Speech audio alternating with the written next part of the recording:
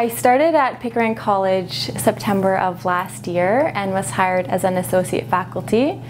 And um, I continued to stay on this year, and this year I'm the senior associate faculty for Firth House. So um, last year in my associate faculty role, I had a family of girls and was responsible kind of for their overall well-being at the school. And this year, um, I'm more so of a leader of the team of associate faculty. So giving them advice, supporting them, and just making sure that all of the boarding students are supported here. So being an associate faculty, I have definitely learned some skills. um, I've been able to work with a team, problem solve, um, find where people needed help, find support for them and provide that, be able to communicate with everybody as a team and also with the director of boarding as well. So taking instructions, how do I break it down to give it to the team? Um, and also interacting with parents um, on a regular basis. So as an associate faculty, you're constantly communicating with parents. They're sending their their children overseas to school. They worry about them and want to know how their child's doing, so that's something that I've gotten a lot more comfortable doing this year. So the associate faculty role has definitely allowed me to step out of my comfort zone.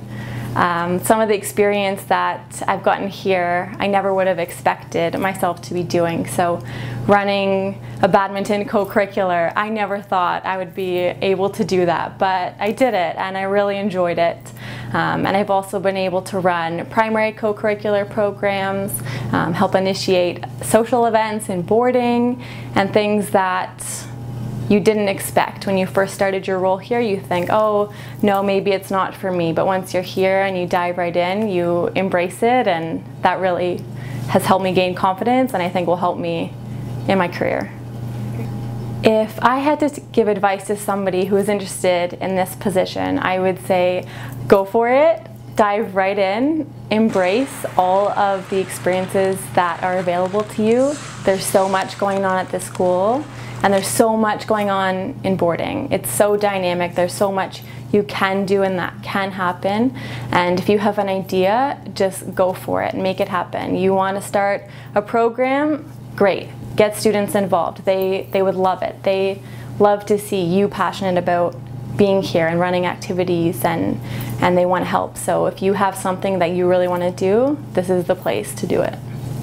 Boarding is the best part of Pickering College. When I first started working here, I thought, okay, yeah, I could do boarding, I could do residence life, you know, sound, sounds simple enough. And, you know, I'm really excited about supply teaching and getting that experience. And once you're here and you get to know the students and you build relationships with them, you really bond with them, you're with them from the beginning of the day until saying goodnight to them in the evening and they become your friends, they become your family. So um, boarding is the best part of Pickering College.